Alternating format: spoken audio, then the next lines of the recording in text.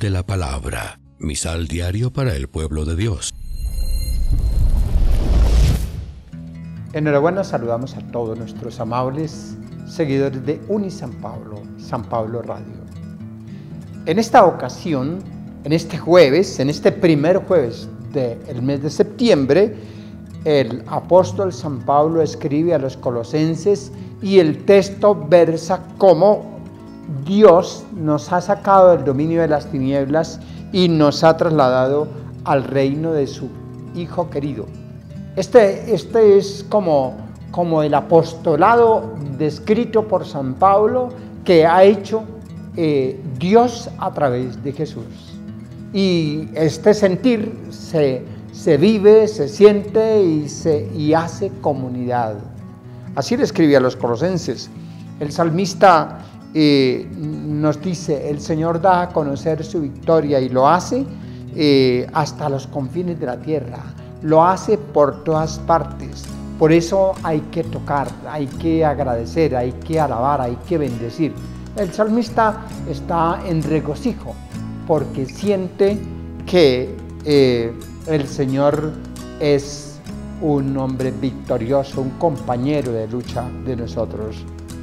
El Evangelio, por su parte, en el día de hoy está describiendo eh, uno de los tantos días de actuar de Jesús, de predicar de Jesús, de accionar de Jesús. Y aquí se encuentra con los pescadores que estaban, estaban eh, trabajando como a nombre propio, a nombre de ellos. ¿sí? Y habían pasado toda la noche pescando y no habían cogido nada. Entonces se quejan y le hablan a Jesús. Y Jesús le responde, rema mar adentro, echar las redes.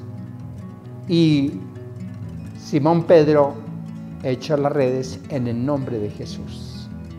Qué raro que hasta el momento habían repasado ya ese lugar, pero cuando lo hicieron en nombre de Jesús, fue tanta, tanta la respuesta de estos pescadores que casi reventaban las redes y se hundían sus barcas.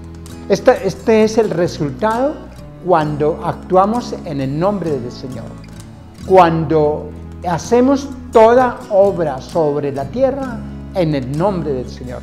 No solamente la iglesia, no solamente el quehacer de la empresa, sino el quehacer del ser humano sobre la tierra. Y nomini domini, en el nombre del Señor, y los resultados son evidentes, son mucho más grandes, porque se refleja la humildad del ser humano, porque se reconoce la grandeza de Dios, porque se resume toda la primera lectura y el salmo, que se reconoce la victoria del Señor.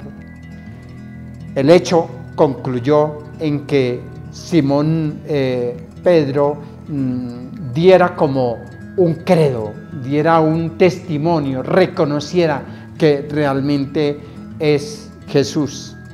Y eh, en adelante eh, serán pescadores de hombres, es la decisión y es el convenio a la vez de Jesús y estos discípulos.